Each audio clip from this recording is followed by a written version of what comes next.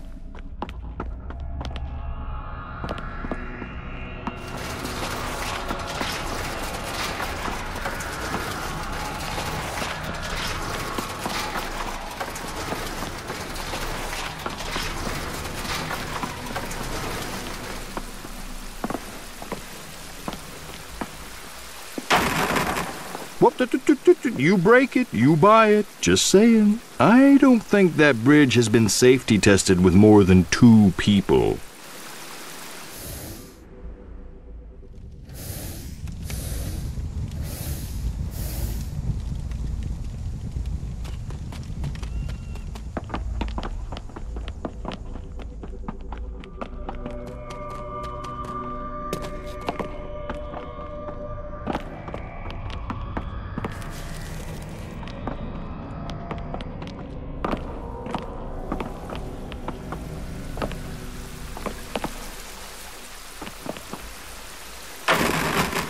Careful. If that bridge breaks, there might be no way back up. And by if, I mean when that bridge breaks. Who am I kidding?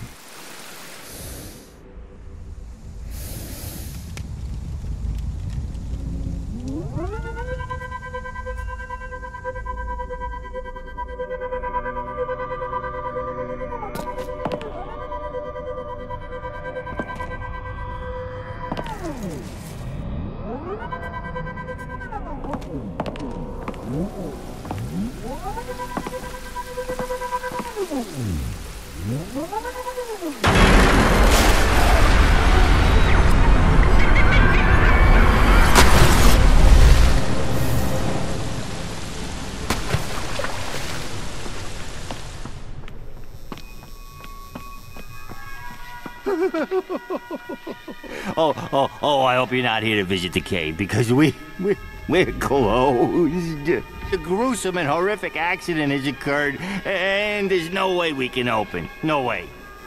I shudder to even describe to you what has transpired. For the nightmares will forever haunt your every thought. Well, if you insist. When I came in, we had no trinkets to sell in the gift shop.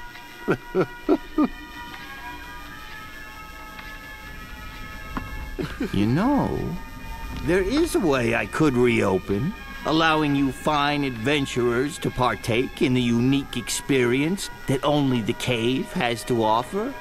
I just need three small trinkets to sell. Just three. Let me say that number again. Three. Take this giant novelty-sized key. It's cute, isn't it? Open the employee's back entrance. I'm sure you'll find some treasures worthy of the cave's gift shop.